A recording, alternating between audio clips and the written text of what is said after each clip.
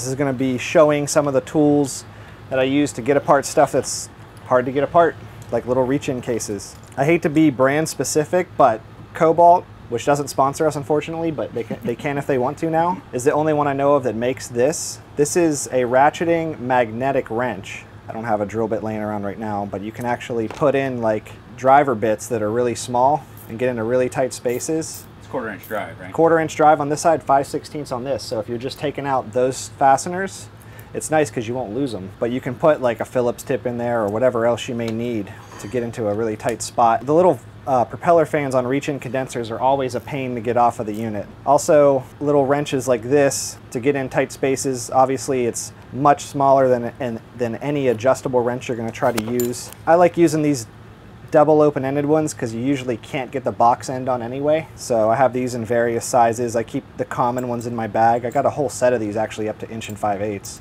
and all the metric ones too. So let's see what, what other gadgets we have here. Always good to keep a magnetic parts tray so you don't lose all those stupid little screws. And then of course some drivers for the drill.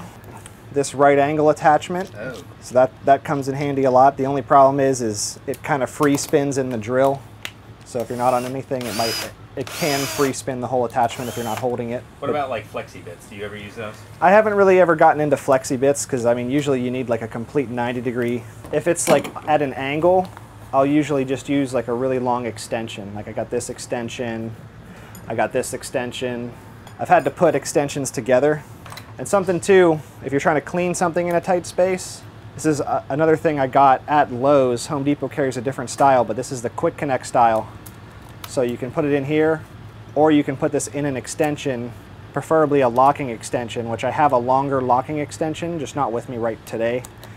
That's a pretty stiff brush, so what would you clean with that? Copper. Usually you're gonna clean copper to braze, but it might be really in between some stuff, and I've honestly not used sandcloth in years. You can clean like pipe threads with it too. That's pretty much it. I keep little deep sockets for fan motors. I see people use their adjustable wrench at an angle all the time, you know, I like to make my life easy and just do it with a drill. So I have the adapter to put these in the drill for when you're doing motors. Do you um so it seems like you keep just pretty much just the stuff that you'll use. You don't have like any big kits or anything. I have the big sets if I really if if I really need the other stuff, but once I you know, found myself using the same one over and over again, I just bought extra of that specific one or just took a couple out of the kit and keep it in the tool bag.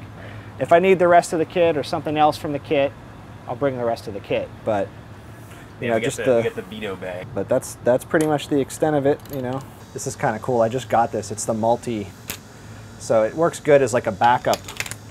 We have all the different sizes on there. So actually, It goes up to like 9 16ths.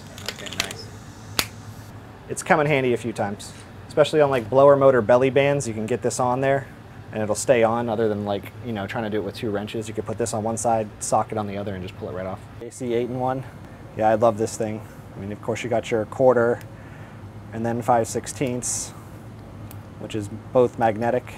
This is 3 eighths, and then you have core remover or some locking caps, thermostat sized, and then of course just a Phillips flathead. Is that what it's what is that the name that they call it? The HVAC in one? Yeah.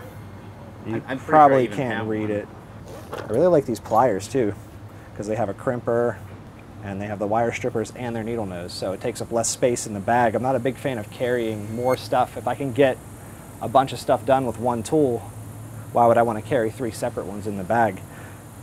I mean, sometimes it is annoying to use these, and I have regular wire strippers. Occasionally, they come in handy, but most of the time I can just get it done with So what you I were, have. you were saying um, that you that you put your Testo uh, probes at the carabiner. Yeah, hold on. I'll, here. I'll grab them. Yeah, just keep them in the case with a 9 16ths. I got charging T. I got just a 90 degree on this because it fits pretty much every condenser that way. I got another charging T if I need to remove a little bit of charge. And then I just got a 5 16ths elbow adapter because usually the elbow is the one I need. Yeah, I can either clip it on here or that's another reason I like to wear carpenter pants is because I can clip it on here. If I'm climbing like a ladder to a roof and all I'm doing is, you know, checking that, or I can clip my meter on, or both. Yeah, it is. It, it does kind of rattle a little bit, but it's better than dragging this whole thing to a roof when you when you know that you don't need to do major surgery to a unit. But that's pretty much it. I mean, everything else in there is pretty basic. Just uh, okay. pliers. They need oiled. They had them at Johnstone one day when I lost my Channellock brand of the same size. I do like these better. There's a lot finer adjustments.